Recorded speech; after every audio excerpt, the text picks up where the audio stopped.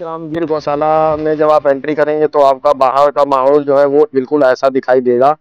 और बहुत ही अच्छा इन्होंने गेट बनाया है यहाँ पे। और बड़े बड़े शब्दों में यह साफ़ साफ़ लिखा है शालिग्राम बाग गिर गौशाला। तो आप देख सकते हैं।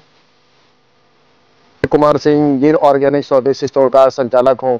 आज मैं मनीष जी से यहाँ पे मेरी मुलाकात होगी गौशाला के बारे में, जैविक खेती के बारे में और पेड़ पौधों के बारे में। हर चीज़ के बारे में काफ़ी ज़्यादा ये वीडियो होगा।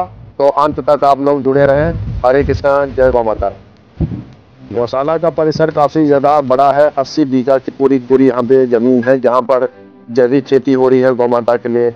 और फल फूल ऑर्गेनिक फल फूल सब्ज़ियाँ उगाई जाती हैं। पूरा जैविक ऑर्गेनिक फार्म है और गौशाला भी है। और यहाँ पे देखिए जो मेन रोड है, इसके चारों तरफ़ देखिए फूल पेड़ पौधे हरा चारा ये काफ़ी अच्छे से और रोड के चारों तरफ़ कहीं कोई कचरा आपको नहीं दिखाई दे रहा होगा। देखिए आप यहाँ पे इस तरह के फूल उगाए गए हैं यहाँ पर। इस माहौल में आने के बाद कोई ऐसा इंसान नहीं होगा जिसको यहाँ से जाने का मन करेगा।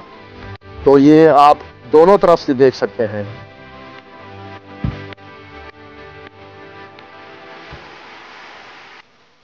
गौशाला का जो परिसर जैसा मैंने आपको बताया कि बहुत बड़ा है, लेकिन यहाँ से जब आप यहाँ पर आते हैं तो आपको काफ़ी अच्छा ये माहौल मिलता है। वो पेड़ पौधे से और गौ माता से मिलता है।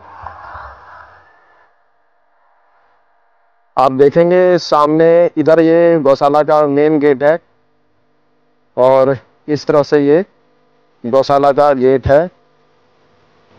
और आपको आगे गौशाला की स्थापना तीन साल पहले हुई थी तो आप देख सकते हैं ये पूरा इसका मेन रोड है और दोनों रोड के साइड में देखेंगे तो बहुत ज़्यादा यहाँ पे हरियाली है पेड़ पौधे लगे हुए हैं और यहाँ पर आप देखेंगे कि कार पार्किंग का भी एरिया यहाँ पे अच्छे ढंग से है कोई कंजेस्टेड एरिया नहीं बहुत खुला वातावरण है और यहाँ पे पूछा पीछे की तरफ़ यहाँ पे देखेंगे तो पूरा ये गेस्ट हाउस बनाया गया है जो लोग यहाँ पर आते हैं दूर दूर से।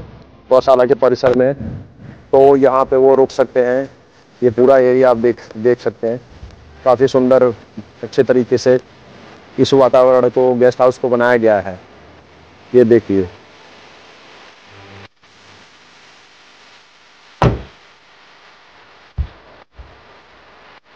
आगे चलते हैं और इस गौशाला के गेट तक चलते हैं। और गौशाला का गेट काफ़ी यहाँ से आगे की तरफ़ है। तो जब भी आप गौशाला के गेट से एंट्री करेंगे तो आप रोड के बीच में चलेंगे और दोनों तरफ़ पेड़ पौधे हरियाली होगा। तो आपको लगेगा कि आप किसी ऐसे प्राकृतिक जगह पे आ गए हैं, सात्विक जगह पे, जहाँ पर आप आ तो गए हैं सर वहाँ से आपको अंदर पूरा आने के बाद जाने का मन ना करे। ठीक बिल्कुल मेरे ही जैसा आपका भी मन और माहौल वो बन जाएगा।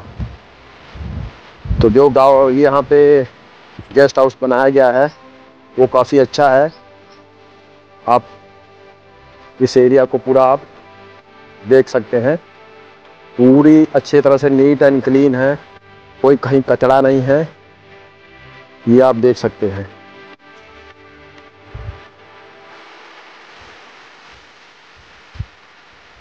शालीग्राम गिर गौशाला में आज मेरा आगमन हो गया है।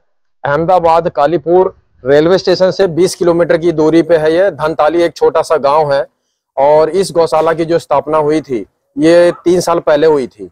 तो यहाँ पे 200 छोटे बड़े मिलाकर देसी गौवंश, गिर गौ माता है यहाँ पे 210 के करीब है। और हमारे साथ मनीष पटेल जी हैं, जहाँ जहाँ ये गौशाला के संचालक भी हैं। और बड़ी शिद्दत से, भाव से गायों के प्रति इनका जो प्रेम भाव है, वो भी आपको अभी इस वीडियो में दिखेगा।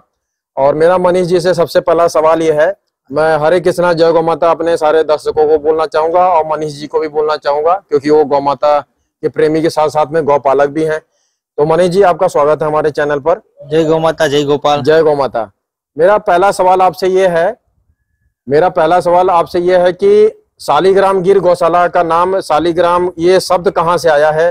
ये इसके बारे में थोड़ा सा बताइए। शालीग्राम हमारा बिल्डिंग कंस्ट्रक्शन का आईटी का जो काम है हम शालीग्राम तो हमारा पूरा ग्रुप है। वो शालीग्राम नाम से सब हमारा काम होता है। जी जी जी। तो इसके लिए ये नाम शालीग्राम वहाँ से आया है। जी जी जी। तो इस गौशाला की जब स्थापना आपकी हुई है और यहाँ पे अभी आप दूध का बता रहे हैं कि दूध का समय क्या है दूध दोहन का यहाँ पे सुबह और शाम का वो बताइए थोड़ा। सुबह चार बजे हमारा दूध दोहन का कार्यक्रम है और शाम को भी चार बजे का अ, कामकाज है हमारा दूध दूध दोहन का। तो ये जो टाइम है दूध का चार बजे शुरू होता है तो कितना घंटा लग जाता है दूध दोहन का? डेढ़ घंटा होता है सुबह और शाम दोनों टाइम डेढ़ डेढ़ घंटा लगता है तो चार बजे चालू करते हैं तो साढ़े पाँच बजे तक हो- जाता है काम। और दूसरा इसमें एक और सवाल मेरा है कि जब दूध को पैकेजिंग करते हैं तो कितने लड़के आपने रखे हैं पैकेट उसको कांच की बोतल में पैक करने के लिए? हम ऐसे थे, थैली में पैकिंग करते हैं तो हमने दो, दो, दो है हमारे लोग वो पैकिंग करते हैं पूरा। और वो क्या रेट है दूध का? दूध का अस्सी रुपया लीटर है। और आपका घी का भी कांच के बोतल में पैकिंग है 500 सौ एम और 1000 थाउज़ेंड एम मतलब कि एक लीटर का है। तो मुझे ये बताइए कि 500 सौ एम और एक लीटर का आपने क्या रेट रखा है घी का? वो पाँच सौ एम का बारह सौ पचास रुपया है और एक लीटर का पच्चीस सौ रुपया है। पच्चीस सौ है। मनीष जी से मेरा अगला सवाल ये है कि जैसे आपकी गौशाला में सोड़ कपिला गौ माता है जो आपके बहुत ज़्यादा स्नेह प्यार दिखा रही हाँ ये आप कहाँ से लेके आए थे? और इनका सुबह से लेके शाम तक कितना लीटर दूध आ जाता है? इसका सुबह शाम पाँच से छह लीटर दूध है। अच्छा जी। हाँ जी। और ये कहाँ से लेके आए थे आप? ये हम जूनागढ़ से लेके आए थे। जूनागढ़ से? हाँ जी। तो ये गौशाला भाई से लेके आए थे या किसानों हाँ, से लेके आए? किसान किसानों से लेके आए थे। जी जी जी। तो इनका अभी स्वास्थ्य कैसा है? अच्छा बढ़िया है स्वास्थ्य। अभी वो प्रेग्नेंट है अभी हम्म। दूध नहीं देती है। अगला सवाल मनीष जी से है वो बहुत ही गंभीर सवाल है जो मैं पूछना चाह रहा हूँ उनसे। इतनी अच्छी गौ माता है इतना अच्छा स्वास्थ्य है इतना अच्छा माहौल है सात्विक माहौल है ये सब कैसे हुआ है? कम शब्दों में मैं ये जानना चाहता हूँ ये आहार भोजन आप गौ माता को क्या देते हैं? हम आहार में जो नेपियर घास है वो, वो देते हैं ज्वार है मक्का है जेंजवा है वो अलग अलग वैरायटी का रजका है ये सब हरा चारा हमारा रहता है। सूखे सारे में मूंगफली का सारा रहता है पाल की जुआर रहती है ये सब सूखे सारे में देते हैं और हमारा जो फ़ीड रहता है वो भी हम खुद तैयार करवाते हैं जिसमें मक्का है तुवेर चुनी है अड़द चुनी है या कपासिया का डालते हैं तो वो भी हम कल्याण कपास डालते बीटी कपास ना डाल के तो वो भी बिना दवा बिना केमिकल वाला गाय माता के लिए हम कपास चुनते हैं। तो इससे इसका स्वास्थ्य बहुत अच्छा रहे। तो इसके हिसाब से जो आप गौ माता की तंदुरुस्ती देख रहे हैं इसका राज ये है कि इसको हरा चारा हमारा ऑर्गेनिक तरीके से हमारा पूरा अस्सी बीघे में नो डीएपी यूरिया पेस्टिसाइड का उपयोग नहीं हो रहा है। और इसको हम पूरा ऑर्गेनिक चारा गौ माता को खिलाते और जो इसको फ़ीड में भी अभी क्या है मार्केट में दो परसेंट यूरिया मिला के इसका फ़ीड आता है। तो हम वो ना लाके हम थोड़ा महँगा पड़ता है पर हम खुद का बनवाते हैं और इसमें सारी औषधियाँ भी डलवाते हैं और काफ़ी सारी औषधियाँ हम इधर उगाते हैं। जैसे नीम है तो नीम का हमारा पूरा 500 पेड़ है इधर। तो पाँच सौ पेड़ है? 500 पेड़ नीम का है तो ये पूरा ये आपके गौशाला का जो बीघा ज़मीन एकड़ है वो बताइए कितना अस्सी बीघा है तो अस्सी बीघे में 500 पेड़ हमारा ये नीम का है तो हम हर हफ़्ते में एक बार गौ माता को नीम खिलाते हैं और वो नीम के हिसाब से जो इसका स्वास्थ्य अच्छा रहता है और पंद्रह दिन में तुलसी है लेमन ग्रास है वो भी खिलाते हैं और सतावरी रेगुलर तौर पर सतावरी भी खिला खिलाते हैं। तो ऐसी औषधियाँ ड्रम खिला- स्टिक मोरिंगा सहजन भी खिलाते हैं। हर दिन हमारा बहुत सहजन भी खिलाते हैं, इसलिए कि हमने पूरे पाँच बीघे में सहजन ही लगा, लगाया है। तो जो हरा चारा में साथ में हम मोरिंगा भी खिलाते हैं जिसका मिरेकल मोरिंगा हम कह सकते हैं जो इसका बहुत आयुर्वेद में भी बहुत वर्णन है और ऐसे गौ माता ने, से खिलाने से गौ माता का भी स्वास्थ्य अच्छा रहता है। ये सामने यहाँ पे शालीग्राम गिर गौशाला में लीड़ी गौ, लीलड़ी गौ माता है, जिनके पैर आप चारों देखोगे, नीचे से काले दिखेंगे, मुँह के सामने थोड़ा सा कालापन दिखेगा, कान भी आपके इनके देखोगे तो काले दिखेंगे।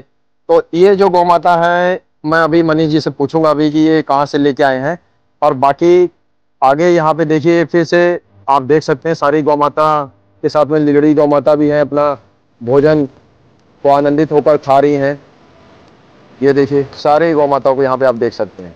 तो इस गौशाला का जो पूरा वातावरण है, वो सात्विक है और यहाँ पे जैविक चारा ऑर्गेनिक चारा ही उगाया जाता है गौ माता के लिए।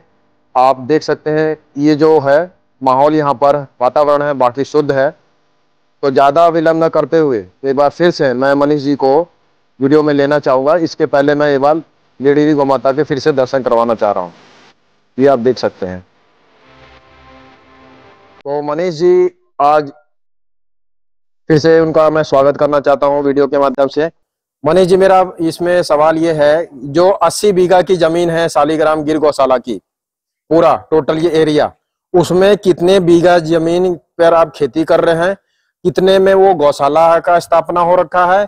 और बाकी जो ज़मीन बची है, उसमें आपका क्या यहाँ पे कार्य हो रहा है? वो बताइए थोड़ा सा। हमने, विनय जी पूरे अस्सी बीघा में से अ, तीन बीघा में गौशाला बनाई है। जी। और अ, अ, एक बीघा में हमारा वर्मी कंपोस्ट का यूनिट है जो हम गोबर निकलता है इसका पूरा वर्मी कंपोस्ट खाद बनाते हैं। जी। तो वो खाद भी हम ढेर सारा उकड़ा नहीं बनाते हैं और वर्मी बना दे तो इसका भी फाइनल प्रोडक्ट बनाते हैं गोबर का भी। और हमने स्टाफ क्वार्टर है गोडाउन है ये सब दो बीघा में गोडाउन है और दो दो- बीघा में हमने पूरा ये हमारा गेस्ट बंगला बना के रखा है जो हमारा फैमिली आते हैं तो इसको ठहरने के लिए सैटरडे संडे के लिए ये, ये व्यवस्था करके रखी है। और बाकी में हम गाय गौ माता के लिए हरा चारा और सूखा चारा उगाते हैं जिसमें 20 बीघे में नेपियर है और अ, 10 बीघे में मक्का ज्वार ऐसा अलग अलग रहता है। अभी पाँच एक बीघे में हमने गवार गवार फली रखी है जो गौ माता को खिलाने के लिए। और पाँच बीघे में हमने ड्रम स्टिक किया है। और हमने अभी तीन तीन बीघे में हल्दी की खेती की है जैविक तरीके से हल्दी उगाई है। बहुत अच्छी जानकारी दिया है मनीष जी ने इस गौशाला के बारे में। मेरा इसमें एक सवाल है कि जब गाय यहाँ पे बीमार होती है तो क्या उसके लिए आपके पास यहाँ पे डॉक्टर और कंपाउंडर की टीम है और उसमें कितने लोग हैं? या आपके यहाँ पे बहुत अच्छे तरह से गायों की सेवा हो रही है इसलिए ये लोग बीमार ही नहीं होते या बहुत कम ना के बराबर बीमार होते हैं? ये मेरा गहरा सवाल है। बताइए। विनय जी इसमें ये ये बात है कि हमारे जो ग्वाला है जी। वो ग्वाला ही अ, काफ़ी सारी ट्रीटमेंट छोटी छोटी होती है छोटी छोटी बीमारियाँ तो वही ठीक कर देते हैं। और बाद में जो हम घरेलू उपचार करते हैं बाद में हम कुछ अ, काफ़ी सारा और, और हो जावे तो हम हम आयुर्वेदिक की मदद लेते हैं और होम्योपैथिक की मदद लेते हैं। तो भी कुछ गौ माता को आराम नहीं पड़ता है। तो हमको एलोपैथी के लिए हम ऑन कॉल डॉक्टर को बुलाते हैं और ये काम करवाते हैं डॉक्टर से। हम्म।